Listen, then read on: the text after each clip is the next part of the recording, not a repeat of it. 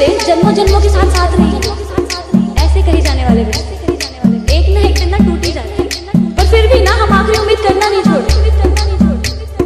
पर फिर भी ना हम अपने दिल से उसे कभी भुला नहीं पाते, वो आशिक भी ना कितना डे त्रिपुरा